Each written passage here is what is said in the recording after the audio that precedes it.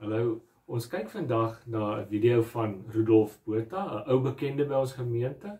Hy's van Oosterlig en uh dit sluit baie mooi aan by my vorige reeks en ons gaan dan volgende week DV met 'n nuwe reeks begin. Rudolf Botha. Hallo julle. Ek wil met julle praat oor 10 redes waarom baie van ons vandag so afvoel. Ek kom agter met vreeslik baie mense waarmee ek praat is dat hulle voel geweldig af en down op die oomblik. Selfs mense wat vir my sê dat uh, dit gaan eintlik goed met hulle. Hulle het nie 'n tekort aan inkomste nie, dit gaan goed in hulle familieverhoudings by die huis, maar op een of ander rede voel hulle net so af en te neergedruk en so down en hulle kan dit nie verstaan nie. Waar kom dit vandaan? En ek dink daar's ten minste 10 redes waarom dit waarom dit werk. Uh ekskuus, waarom ons so voel. En hierdie 10 redes, party van die redes mag meer waar wees vir sekeres van ons en ander redes mag waarder wees vir ander as ons. Maar ek dink dis hierdie netwerk van redes wat ons nie laat voel ons weet regtig waarom ons so voel nie. Want dis nie net een rede nie, dis 'n klomp dinge wat op mekaar inwerk wat ons so laat voel. Die heel eerste rede is dat ons het 'n uh, behoefte aan 'n uh, menslike kontak. Ons het 'n behoefte vriende aan aan aan aan verhoudings, aan connect met mekaar en ons kan nie op die oomblik maksimaal connect nie. Dit het 'n effek op ons. 'n Tweede rede wat hierby aansluit is, ons het fisiese kontak nodig. Nie net menslike kontak nie, ons het nodig dat mense aan ons raak. Ons het nodig om om fisies nabyheid met mense te hê, selfs ons wat nie drukkie mense is nie. Dit nodig om fisies naby mense te wees en onderbewuslik het hierdie goed 'n impak op ons. Ehm um, die tekort aan fisiese kontak wat wat wat ons met mense het. Dan dan is dit 'n derde rede. En dit is dat hierdie lockdown uh, hou nou te lank aan. Die onsekerheid van die lockdown is nou vir te lank en ons is steeds onseker oor die toekoms. Ons is steeds onseker oor um, wanneer gaan dit eindig. Ons is steeds onseker oor wanneer die deadline vir hierdie virus is en dit neem die hoop van ons af weg want ons weet nie hoe die toekoms gaan lyk nie. En ons kan nie in die hede leef sonder 'n 'n seker toekoms nie. Nog 'n rede waarom ons ehm um, so sukkel is omdat ons breine is in ehm um, info overload. Ons is 'n uh, informasiefoos.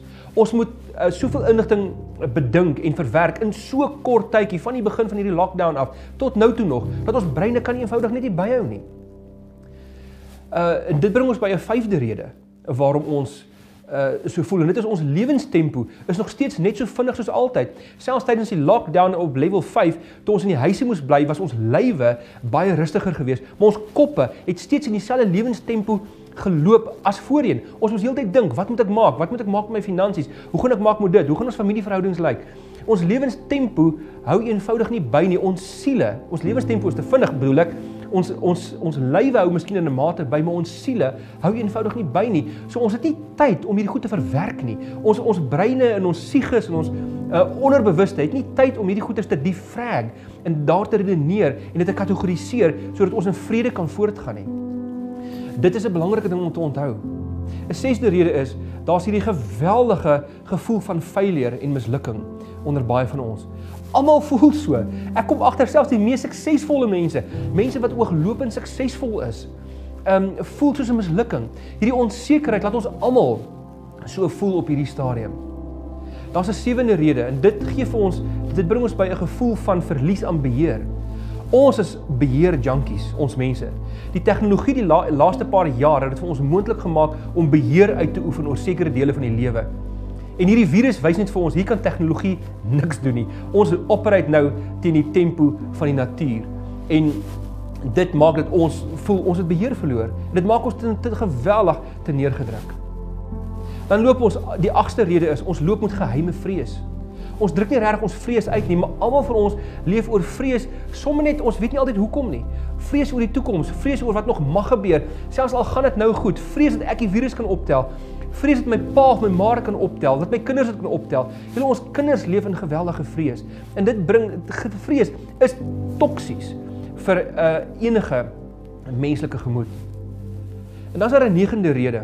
En dit is wanneer ons afvoel dat ons nie lus vir mense nie. Um ten spyte van die feit dat ons terselfdertyd paradoksaal mense nodig het, het ons nie die krag om nou mense te face nie. En daarom isoleer ons onsself nog meer. En wanneer ons onsself nog meer isoleer en meer weghou van mense af, dan voel ons nog slegter. Want ons het juis mense nodig. So ons voel geweldig af.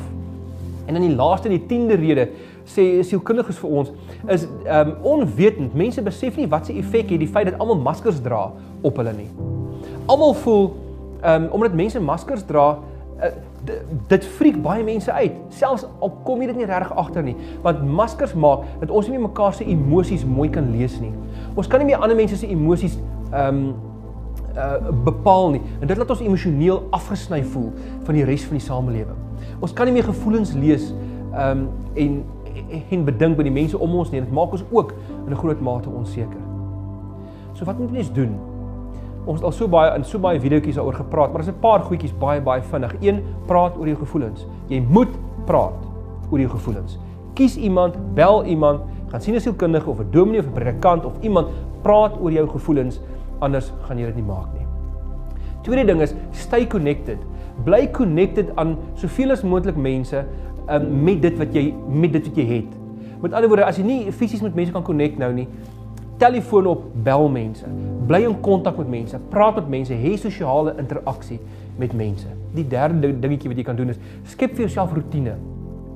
Um oorbrug hierdie onsekerheid deur vir jouself 'n bietjie rotine te skep en veral jou geestelike gewoontes. Staan in die oggende op, lees 'n bietjie Bybel, bid, gaan oefen, laat die endorfine 'n bietjie loskom en en bly aan die gang En uh hierdie en nog baie van die ander dinge wat ons op ander video's bespreek het, is dinge wat jy kan doen in hierdie tyd. Mag julle die Here se goedheid beleef in hierdie tyd. Hy seën julle.